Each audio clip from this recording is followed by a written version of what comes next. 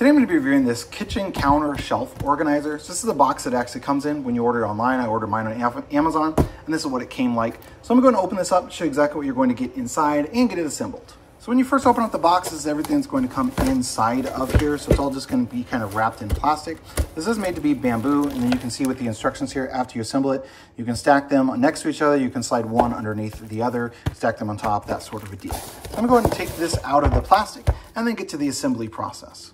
Now one issue that I'm running into during the assembly process of this is that this is actually going to be closed. And so actually getting these screws down in here, you're gonna kind of want a short stubby screwdriver if you, screwdriver if you have one. If not, you're gonna have to kind of do it at an angle just because of the way this is going to be designed. Now, there's gonna be two total sets. So you're going to have um, one of this is going to be the bigger and then one is going to be the smaller. So you're just gonna match those up onto the wood and the same thing for this as well. This is what one of the sets is going to look like after you get it assembled. So essentially it's just gonna be a little bit shorter than the other so it can slide right underneath if you want to. So you can kind of have it sitting out like that if you'd like. You can have them like that. Of course, you could set them on top of one another if you also chose to and do something like that. Now again, this is gonna come with two sets of two. So this is gonna be the one and this is the other one that I haven't put together quite yet. So overall looks really, really nice. I love the bamboo on that. I also do love that these are gonna have the pre-drilled holes also in them. So let me show you on this one I haven't put together yet. So they're gonna have the pre-drilled holes on here. So that makes it considerably easier to assemble with just a regular screwdriver. You don't need a drill or anything like that for that, just because those pre-drill holes. It makes it a ton easier when assembling it. So overall, love the design on this. Love the fact that you can kind of nest them if you want to. So the smaller one can easily go all of the way underneath if you want to. You could have it like right like that, so it's just sticking out a little bit.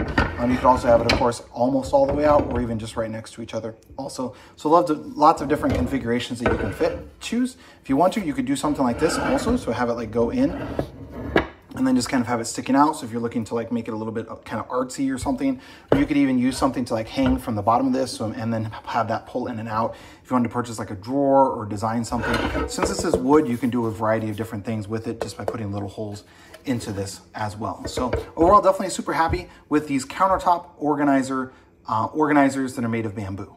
One last thing I did want to mention is that when you're putting on these, you'll need to make sure you put the correct one on the right one.